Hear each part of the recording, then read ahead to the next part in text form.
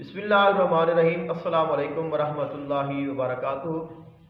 किसी भी अमल में कामयाब होने के लिए क्या राज है? कोई भी आप अमल करें, कोई भी वजीफ़ा करें, कोई भी विरद करें, आप ये चाहते हैं कि आप उसमें कामयाब हो जाएँ तो क्या करना चाहिए? और फिर सबसे अहम बात यह कि हमें कोई वजीफ़ा या विरद बता देता है कि इस अमल को आपने इतनी देर करना है। लेकिन उतनी देर करने के बाद हमें फ़ायदा नहीं होता तो फिर हमें क्या करना चाहिए? क्या वो अमल दुरुस्त नहीं है, या बताने वाला दुरुस्त नहीं है, या फिर हम में कोई कमी है? इसके लिए जो, इसका जवाब देने के लिए आपको एक मिसाल देता हूँ कि आपको एक शख्स ने ये कहा कि जहाँ पे आप खड़े हैं, जहाँ से 10 फिट नीचे पानी है। यानी कि अगर आप ज़मीन में 10 फिट गड़ा खोदेंगे तो यहाँ से पानी निकल आएगा। आपने 10 फिट गड़ा खोदा, लेकिन पानी नहीं निकला। तो अब आप क्या करेंगे? आप जो कहने वाला है, उसके साथ लड़ेंगे या आप मज़ीद गड़ा खोदेंगे?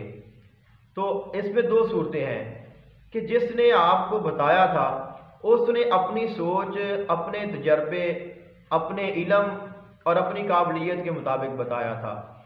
अब आपने उसके मुताबिक तो काम कर दिया है, लेकिन जो आपका मकसूद था, वो आपको हासिल नहीं हुआ। तो आप ये तो नहीं करेंगे कि दस फिट आपने गड़ा खोद दिया है तो आप फिर उसको बंद कर देंगे और बस कर देंगे, अभी फ़ायदा नहीं, पानी नहीं मिला तो मैं इसको छोड़ देता हूँ। बल्कि आप ये कहेंगे कि अगर मैंने दस फिट गड़ा खोद लिया है तो अब मुमकिन है कि एक फुट, दो फुट, तीन फुट और गड़ा खोदूँ तो मुझे पानी मिल जाए। तो आप फिर मज़ीद गड़ा खोदेंगे। अगर आप एक फिट दो, तीन फुट के, आपको मज़ीद भी गड़ा खोदना पड़ेगा, आप उसको खोदेंगे, क्योंकि आपको पता है कि जो इब्तदाई मेहनत थी, जो सख्त मेहनत थी, जो ज़्यादा काम था तो मैं कर चुका हूँ। तो अब थोड़े काम के लिए आप कभी भी उस काम को नहीं छोड़ेंगे। ऐसे ही होता है, जब कोई अमल बताता है, कोई विरत बताता है, कोई वजीफ़ा बताता है तो वो अपनी सोच, अपने तजर्बे, अपनी काबिलियत, अपने मकाम और मरतबे के अतबार से बताता है। अब उसको जब आप इस्तेमाल करेंगे या आप उसको पढ़ेंगे तो वो आपकी ज़ात पर मुनसर होगा, आपकी काबिलियत पर, आपके मकाम पर, आपके मरतबे पर, आपकी रूहानियत पर। तो उसके बाद अगर किसी अमल में बताए हुए तदाद के मुताबिक आपको मतलूबा जो मकसद है, वो हासिल ना हो तो आप उस अमल को छोड़े नहीं, क्योंकि ज़्यादा काम आप कर चुके हैं, थोड़ा और कर लें इन आप उसमें कामयाब होंगे। अब जो पहली बात और जो दूसरी बात है कि अमल में कामयाब कैसे होना है? कोई भी अमल आप करते हैं तो उसकी कामयाबी का जो राज है, वो मैं आपकी खिदमत में पेश करता हूँ। वो ये है कि सबसे पहले तो आपका उस्ताद होना चाहिए कि जो आपको अमल बताए, सही अमल बताए, दुरुस्त अमल बताए, और उस अमल में कोई चीज़ पोशीदा ना रखे। इब्तदा, उसकी इंतहा, उसका दरमियान पढ़ने का तरीका अगर आसार करना है, उसमें कितना पढ़ना है, कैसे पढ़ना है, तमाम तार जो चीज़ें हैं, वो आपको बता दें। किसी भी किस्म का कोई खुफिया चीज़ ना रखे, ताकि बाद में आपको परेशान ना होना पड़े। उसके बाद आपका जो पीर है, वो कामिल होना चाहिए। आपको एक कामिल मुर्शद का बैत होना लाजमी है। उसके बाद जब आप अमल करेंगे तो आपने इब्तदा में अमल करना है। अल्लाह और उसके रसूल सल्लल्लाहु अलैहि वसल्लम की रज़ा की नीयत करनी है।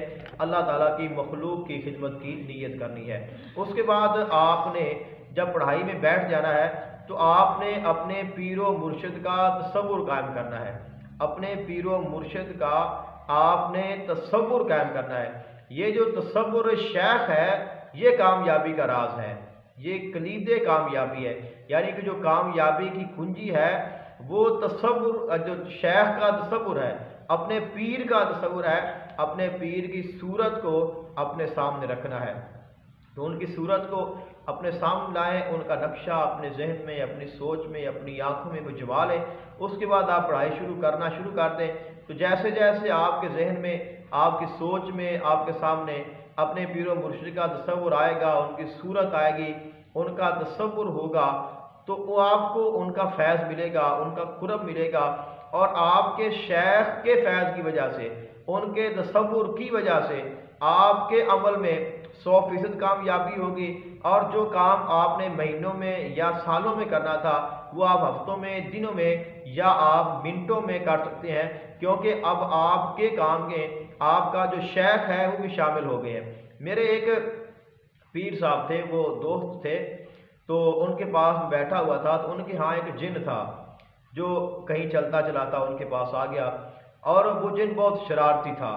उसने क्या करना कि कभी मस्जिद में चले जाना, कभी उनके घर में चले जाना, कभी उनके बर्तन गिरा देने, कभी उनकी इसी चीज़ को हिला देना, कभी इस चीज़ को हिला देना तो वो उनके कवर में नहीं होता था। वो शरारती था, ताकतवर था तो वो एक बच्चे की सूरत में कुछ लोगों ने भी उसको देखा तो जब वो चीज़ों को गिराता था तो फिर ही पता चल जाता था कि ये वही है, जो चीज़ें जो है अचानक गिरना शुरू हो गई हैं। यानी शरारती बहुत था, तंग बहुत करता था।